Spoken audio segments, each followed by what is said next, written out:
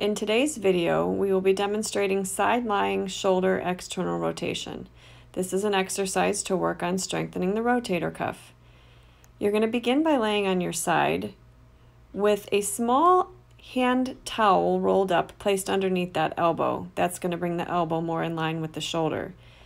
You should begin without a weight in your hand and you're going to raise that hand up towards the ceiling, maintaining a 90 degree angle in that elbow. You only go as high as you can go without any pain. You can repeat in sets of 10 or until those muscles on the back side of the shoulder blade feel tired. As you get stronger, you can add weights to increase the difficulty. Repeat in sets of 10 or to fatigue. Any questions, as always, reach out to us at www.fit4lifephysicaltherapyohio.com.